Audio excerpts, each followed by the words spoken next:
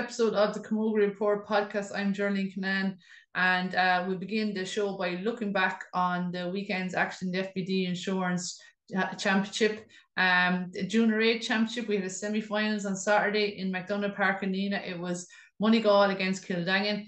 Moneygall with a comprehensive win over Kildangan in the end, uh, 224 to 2 5. They led at half time 211 to 2 points, and Kildangan with two goals in the second half but it was never going to be enough against a very good Moneygall side. Uh, Caitlin Tracy was on fire. She scored 12 points, nine from frees and three from play. Uh, captain and full forward Neve Larkin with a goal and seven points. And um, they had other uh, standout performances from Julie Kelly at centre back. Mary Ryan was excellent in midfield. Uh, so too was Bree Ryan at centre forward. And um, they look really good, Moneygall, and um, are through now to a county final where they'll play uh, the winners of Brian Boru's and St. Risha's. That game is happening this Sunday at 12 p.m. in the County Camogie grounds in the Ragg. Um, after Saturday's semi final, I caught up with uh, Seamus Hogan, the manager of uh, Moneygall, and Breed Ryan and Julie Kelly, and got their reaction. Joined now by Seamus Hogan, manager of the Moneygall uh, Junior A team. Seamus, you're in a county final, comprehensive victories there, 224 to 25. You must be pleased? Oh, very pleased. Yeah, very pleased by the by the work rate of every single one of the team, subs included. Even in training, every one of them put in the effort, and it pays off today. And I remember being at the county final last year and thought maybe over nine to bit on Braid team for scores. Certainly not this year. Massive uh, uh, uh, contribution there by like Caitlin Tracy, Neve Larkin, Bree Ryan. You know, your, your forwards in particular are looking really impressive. Oh, they are, yeah, but it's the distribution of the ball from the back line also as well in midfield that makes these. But um, Caitlin is super. Top class, can't falter anyway. She puts it in at training as well, and also, as you can see here today on the field. And obviously, great to have experienced players like so Julie Kelly, Breed Ryan, Mary Ryan there, I suppose, backbone of that team as well. Oh, yeah, sure, Mary and backbone in the middle of the midfield, as you saw yourself today, cleaned up there in the middle of the field. Sure, Julie back this year and Breed, super players. Sure, Julie, a former Tipperary player, Breed as well. Sure, you can't fall them. Super team and it's going to be either Brian Boru's or, or St. Risha's Fethard in the final, which um, that semi final happening next weekend. Uh, have you played either of them this year, or do you know much about either side? Yeah, we played Fethard there a couple of weeks ago at home, and we beat them as well. But Fethard are a good side. We can't, we won't not hide them. We played Brian Boru's in the league uh, earlier on, but we were only we were only starting to try and build a team for the championship. But uh, both of them are a very good team. I went to see uh, Brian Boru's against Ballina. They were very impressive there as well. So it could be a tough final ever who comes over and meets us, but we'll be raring to go for it. So you're unbeaten now in a county final, but obviously when you you get to final, you want to win them. Oh, of course, everybody wants to win the final, no matter who you are. You want to win the final. But hats off to Kildangan today. They're a good team. Like the score, we, we put up great scores. We got great score, as you said yourself there, from Caitlin, Neve, and Breed, and all the rest of them. But um, Kildangan are a good team. But we'll be ready no matter who we're meeting the next day. And please God, we'll come out on top. Thanks very much, Seamus. Now I'm joined by uh, two of the more senior players on the Moneygall team, Breed Ryan and Julie Kelly, and we're surrounded with some of the up and coming stars of Moneygall as well. Breed, we'll start with you. Uh, you must be delighted with that win and back in the county final. Yeah, delighted. To be fair, uh, it's been a long time since we've had the opportunity to win a county final, so it's it's great to be back. I think it's good for the club now.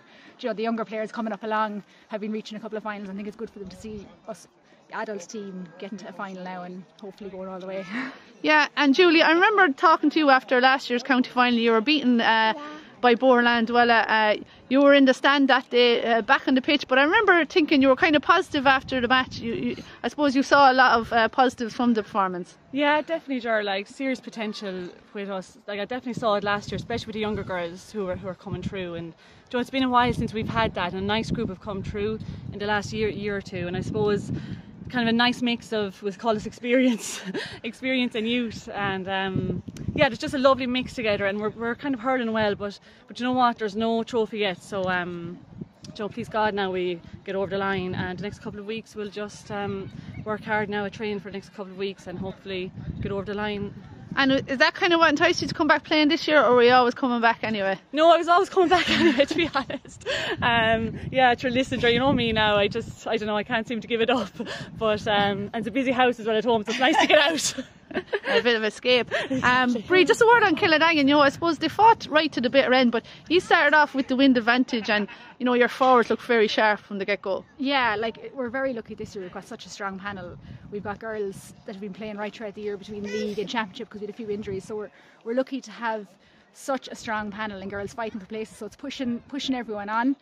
So everyone's improving, everyone's getting better with every game, and like definitely our forward play out there today was was very good, and it was great to get a good score in the first half to take a bit of pressure off then for the second half. Yeah, and in fairness, Kildangan never gave up and got two goals there in the second half. Absolutely, they were they were good and tough and physical. They gave us a good game. We'll we'll feel that for a few days, I'd say. And uh, Julie, it's going to be Brian Boru's or St. Rita's Fethard in the final. Uh, that semi final happening next weekend. Uh, is there any particular team you'd like or prefer to avoid, or do you know much about either of them? No, like we met Fethard ourselves in our group game, as our final group game, and gave us a tough match in Moneygall. Um, I know at Brian Boru's, we met them in the league, so um, and they bet us in the league that day as well. That was a tough game, so yeah, I just think you know, listen, any fi- final is tough. No, no final is easy won. So um, and I know they're out in football, I think, this, this weekend, so I'm sure they'll be fit and they'll be raring to go. Um, any kind of team that's playing football as well are fit and kind of forward running. Um, so it's, it's, it's not going to be easy one anyway. We're up for it. We are. We're definitely up for it. And just, um, I suppose, you like you've had a few injuries this year. You, Rayteen was out, Edwina was out, but I suppose they're all coming back and, and coming at the right time now for the final in two weeks' time. Yeah, they are. But that was one thing this year. I think every championship game we were missing, you know, like a couple of regulars each time, and we always had someone, you know, like a few people in the panel to come in and take their place. Like in the past, we didn't have that. You know, we always kind of struggled with numbers, and we definitely have more depth in the panel this year, which is brilliant. And like I'd say nearly everyone in the panel have gotten games this this year between the league and the championship. Um, so yeah, hopefully, come to final, we'll have our last couple of people back from injury. Um, yeah, so f- fingers crossed, or they'll have a full panel to pick from. Brilliant. Thanks very much, girls. Thanks, no Ger. bother, Ger, thanks. And thanks to all your supporters. No, no Hello. On Saturday, we also had two uh, crucial intermediate championship games. Uh, Kilruane and Newport Ballynahinch played. Uh, Kilruane winners there on the scoreline of two goals and 11 points to eight points. In the other game, Shannon Rovers had a big win over Toomevara, six goals and 14 points to two goals and six. That means uh, we now know our top four teams. Uh, there's still one game to play between uh, Cahir and Boherlahan, but unfortunately for both those sides, um, they can't qualify uh, uh, at this stage. But Burgess have finished top of the group. Um, Shannon Rovers are second, Newport are third, and Kilruane are fourth. So what that means is our two semi-finals for the FBD Insurance Intermediate Championship is Burgess versus Kilruane MacDonagh's and Shannon Rovers against Newport Ballynahinch. That's going to be a double header on Saturday week um, in the County Camogie grounds of Ragg. Expect a massive crowd uh, for those two semi-finals and this really hotly contested intermediate championship. So that's to look forward to in two weeks' time. Um, then in the Junior B championship, we had one semi-final on Sunday in McDonough Park Arena. Portroe had a good win over Silvermines, 111 to 5 points. Um, Portroe goal coming there in the first half from Michelle O'Halloran, and they really kicked on after that. They led a half time 107 to 3 and held Silvermines to just two points in the second half. Trisha O'Halloran was excellent for them at centre back, so too was Grace Mulrooney. And um, they march on now into a county final where they await the winners of the other semi final. Uh, Moycarkey Borris and St. Cronan's uh, of Roscrea are in that. So uh, Portroe through to a county final. Uh, then on Sunday we had two Junior B, two semi-finals. Uh, Clonoulty and Anacarty played a really exciting game. Anacarty led from the start, um, but uh, Clonoulty got a late goal uh, to equalise it there on full time, and it went to extra time. Then draw at half time of extra time, and then a goal and two points from Clonoulty in the second half extra time meant they ran out winners on a final scoreline of three goals and 13 points to three goals and eight. A tough way for Anacarty to lose, but a great way for Clonoulty to win and to book their place in a county final where they will meet Shannon Rovers. Uh, in the other semi final, low scoring game, Shannon Rovers a two point win over Toomevara, eight points to six, uh, which sees them through to a county final against um, Clonoulty Rossmore. So, uh, chance for either of those teams to claim some silverware there after a very good campaign. And we also had under 15 finals at the weekend. Uh, the under 15 development league concluded with uh, Boherlahan winning the A competition 2-13 to 2-9 against very good Holy Cross Ballycahill team. In the B competition, Moycarkey Borris ran out 113 to 7 point winners over Newport. Nenagh had a, a win over St. Regis Fethard uh, in the C competition 2 5 to 1 2.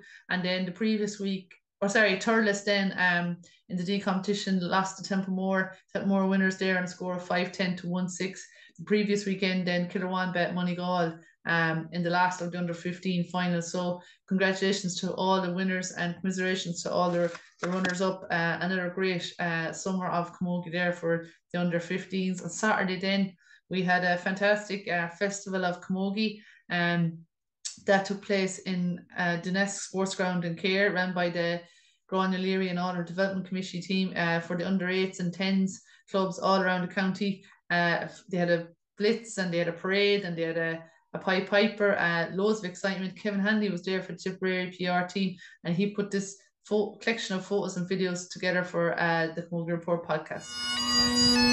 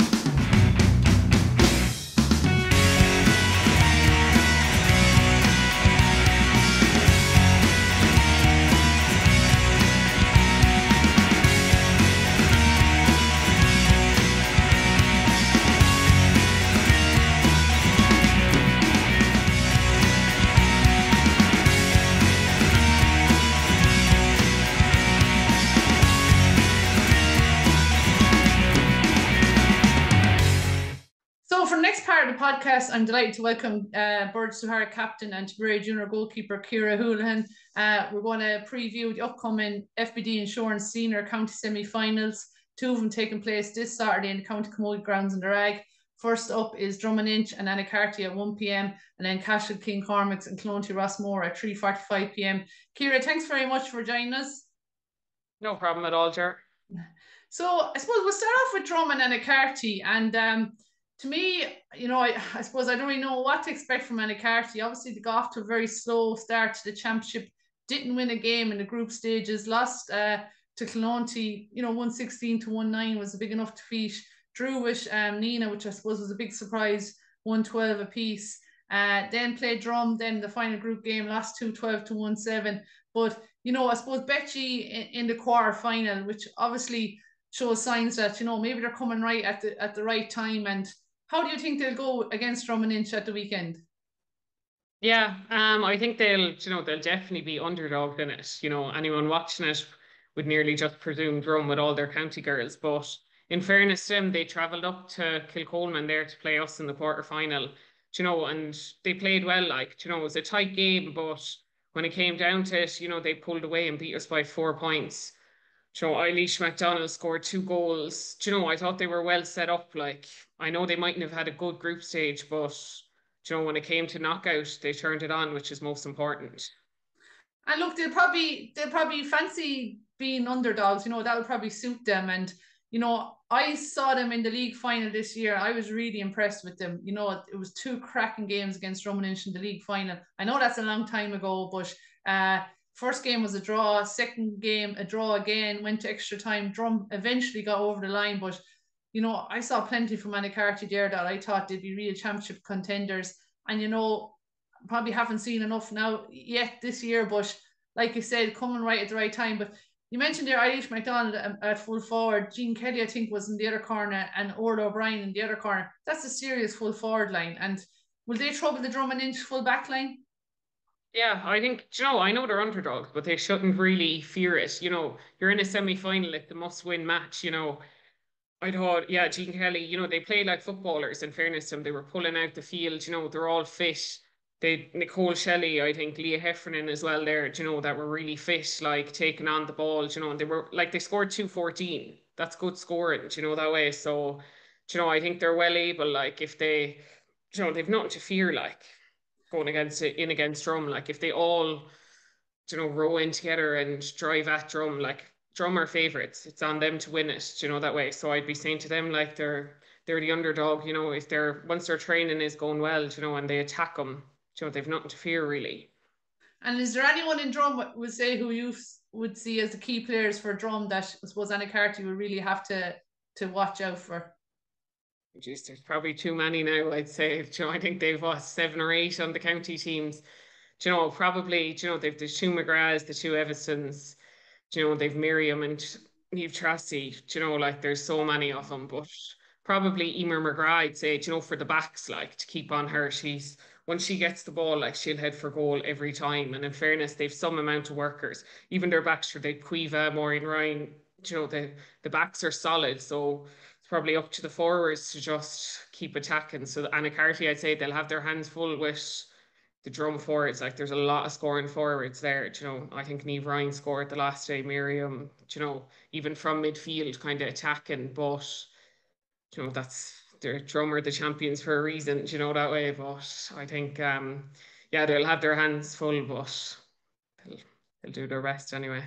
It'll be a real test uh, for both sides, and whoever comes through will definitely have earned their place in the county in county final. So the other uh, semi final then so kind of a novel pair, and I don't think uh, these sides have met really. Um, you know, Cashel hadn't up seen her all that long. You know, they got to uh, county semi final last year, lost to Drom and Inch and that, so they didn't meet Clonoulty in the group stages either. Um, Clonoulty, you know, a serious side, real contenders again, obviously this year. Um, had a very tight game with Drom in the group stages. Um, obviously lost to Drom in the last two county finals, very close games again. But uh, this is going to be a different test for them. You know, you you played Cashel in the group stages. There was a point in it. You know, I, I know I spoke to Queen Purdue last week, and she found that a really really tough game. You know, how did you find playing against Cashel or the style and the team that they have? Yeah, you know, you're probably used to we're used to playing the drums in Clonoulty, so you know it's good to be playing against different teams. Um, I feel like if you look on paper, you probably know more of the Clonoulty girls, but like Cashel have their fair players. Like, you know, they've a good few playing on the county teams, even on the minor team as well. I think they've two Fahy sisters. John, you know, they're probably girls I mightn't have heard of, but when it comes down to it, you know, they played well. They were very fast, in fairness. Their forwards, Quiva, you know, they're lightning quick getting the ball in. You know, I know Philly Fogarty was back there playing full forward, you know. So like she definitely probably is the sense of calm, you know, giving off the passes and talking to everyone. So they're probably you know, if I was say, you'd probably think Cashler the underdogs, but they topped they topped the group all the same. They made it straight through to the semis. You know, Clonoulty have another match under their belt, but actually, just talking know, about that, do you think that's an, you know, I, I was looking at Drum there. They played Anacarty in the last game, bet them, but it's four weeks going to be since they played them. Anacarty have a win since then. Very hard to beat the same team twice. It's four weeks nearly, you know, too long of a break for Cashel and Drum. Will they be a bit rusty at the start, do you think? Yeah, it, you know, it, it really does depend on now. In fairness, Drum and Clonoulty, oh no, Drum and Cashel, Drum are probably used to having the couple of weeks off in their training. So for Cashel, it's how well are they ready now? Do you know, I'm not sure. I don't know anyone from the camp if they've been playing maybe a challenge match, you know, to keep them fresh and on their toes. But you'd hope sometimes the people who play the quarterfinals, like Anacarty and Clonoulty, you know, they're in the run of things another game, they have another win under their belt, they're probably they could be a little bit more confident. Or even, you know, the first 10 minutes they might be might take drum and Cashel a few minutes to get into. So sometimes, you know, it's not the worst to have an extra match under your belt. Yeah, and actually Clonoulty started quite slow against Thurles Sarsfields. Um they hardly got the ball down their own end of the field for the opening 10 minutes and Thurles Sarsfields hit them for 1-4 and a trosh in a fantastic blistering start. But you know, you'd have to admire Clonoulty. They never panicked. They, you know, got the, got the ball up the other end. Emer Burke got a goal. Um, I think they got another one before half time from Van, and they only went in two points down, and they came out in the second half and produced a brilliant quarter. Um, to uh, I suppose you know swing back the momentum in their favour and take control of the game. But if they were to start slow like that against Cashel, do you think Cashel has a firepower? You know, maybe to put them away. And, you know, I, I know Thurles regretted not scoring more, obviously, when they had that purple patch. But have you seen enough in the Cashel forwards to say that, you know, Clonoulty couldn't afford a slow start against them? Yeah, well, I think like they stuck with us the whole way, and when it mattered, uh, Purdue got the goal, and from then they kicked on, and it was us at the end of our match anyway when we, we played them. It was us trying to, I think, ball came off the post, the goalie made a save, you know, so their backs held tight when it came to it. The last the last few plays in our match was us trying to either get a goal or a point to draw the match. So like in fairness to Cashel, like they were well able, they stuck with us the whole way. They got a goal and they pushed on, you know, they pushed on from there. Then I think they got another couple of scores. Like so, I think you know Clonoulty will have to be ready for them now. Their team, Clonoulty, are an excellent team, but you know I think um in fairness to the Cashel backs like Saoirse Ryan, a few others of the girls, you know they they held it tight at the end when it mattered and they were under a fair bit of pressure. And you'll be familiar with um, Amy Cross and Maeve Ellie Ryan. They were uh, played alongside you in Tipperary junior team this year. They're two, you know, key players for Cashel as well. Yeah, they are. And sure, there's Anya Dwyer and Cream Blair as well. Like, you know, and I'd say probably, I think there's two Fahy sisters as well that were minor and Nicole Shelley as well, who played a couple of years ago with Tip. Like, so, you know, Cashel do have you know, on paper, like they have, they've played big matches. You know, I know they might be the underdog and they're a bit younger, but they've topped the group. You know, they have the confidence of, you know, they've played well. I think did they draw with Thurles? They beat us by a point. You know, they beat the Mines. You know, so they deserve to be there. So it's just all about. Hopefully, they've been preparing well, and I'd say they're up for it. They'll be they'll be coming up against a very good Clonoulty team, so they'll have to be. Really, it's all about it's semi final, it's knockout, it's who performs on the day. So hopefully, they're really up for it and they're ready for a battle on Saturday. Yeah, I think it's going to be a fascinating encounter. Like you said, you know, Liliana Fahy, even Grace Maloney, loads of players like like we've mentioned that played underage with Tip, have had huge success with Cashel schools. Um, you know, obviously Cree Blair has experience with Tip seniors, but I suppose what they are lacking is, you know, success at, you know, winning a senior club county semi-final, something that Cashel have done, have proven, know how to do it Caught Devan, Courtney Ryans, Clodagh Quirke. It's actually they're two different types of teams and two different types of players. And I suppose, you know, now Clonoulty have some young players like Kate Ferncombe and Lorna Ryan that would have played against these Cashel miners that I mentioned. But Cashel has some big guns there that have, you know, I can imagine Clodagh Quirke just like we're getting back to this final, you know, they have one eye on trying winning a county final and they're not going to let Cashel stop them. But Cashel are riding, riding the crest of a wave now and you know probably not used to losing games. You know they've come right up through the ranks, junior B, junior A, intermediate. The, a lot of the girls have won underage titles, and I think just having Philly Folkley in there is probably that bit of experience that they're lacking. And even Linda Grogan is a selector; she knows how to win county finals, how to win club All Ireland's. You know with Cashel, so I think it's just going to be a fascinating encounter and. I've, it's a match I find very hard to call. What about yourself? Who do you who do you think will get over the line, Cashel or or? Yeah, like you know, you'd always be voting for the underdog. You know, you'd love to see. I don't know, like all the years we were playing, everyone would be voting for someone else to be in the county final. But I think it's hard to look past Clonoulty. Like you said, you know, those girls have been in county finals before. You know, they were definitely in ones 18 or 17. I think they lost to us. You know, they've lost the last two county finals. You know, they only lost in in the round match. Was it two points or a point there? Yeah, I think down in yeah. you know, so they're not they're not far off it, you know. And a lot of those girls, I know there's good few on the tip senior team and that, but like they'll want it as much as anyone else. Like I'm sure they're training as hard as any other team. So I don't know. It's I know it's a hard one to call because you don't know what team even Cashel will line out. you know they have that advantage. I know they top the group, but Clonoulty, you know they're they'll want to they'll want it as much as Drom. They're after losing two years, but for them it's probably just it's the next step in the ladder. They can't be looking ahead to a county final. You know they need to just focus on Cashel and get over them first. Like, but if you look at the Clonoulty team, you know they've so many girls like Clodagh Quirke, Emer Lukeman, Caught, Casey, Emer Burke, you know, and then the minors that that you named as well. Like, so I think it's kind of it's kind of a tough one not to look past Clonoulty. Like if they have everything in order and you know no injuries and they're really ready for it, you know, you'd be probably putting your money on them. And then for Drom and Anacarty, who are you fancying in that one? Um, I'm sure I'd probably have to go with the the usual Drom, but you know, you'd love to see. I'd love to see a game of it. Like you know, if Anacarty, I know that's it's a good thing coming in as an underdog. A lot of people go to that match and they'll just presume Drom are going to win it. You know, they're going for four in a row. They're experienced, but sure, you never know. That's when you catch a team on the hop. You know, when they're complacent.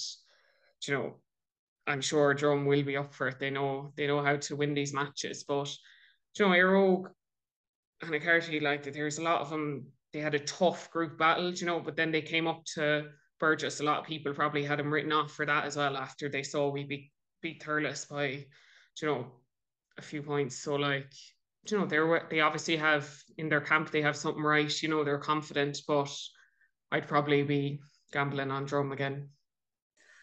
So you're going with Drum and Clonoulty, but I think by the sounds of it, you're expecting two really good semi-finals. Yeah. And and a big performances out of Cashel and Anacarty, and then obviously it's all on the day. So, Ciara, thanks a million for joining us, and uh, we look forward to Saturday semi-finals and uh, see if you got your predictions right.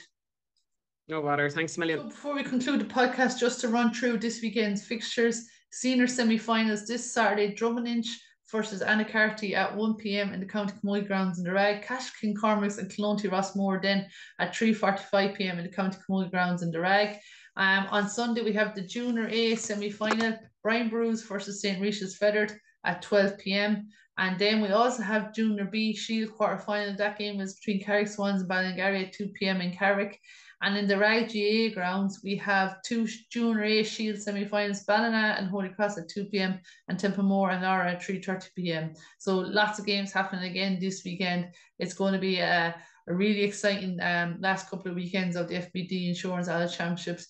And uh, in a couple of weeks' time, we'll know who all our county champions are. So best luck to all the teams out again this weekend. Hope you enjoyed the podcast. If you did, uh, give us a like and uh, don't forget to subscribe to our YouTube channel.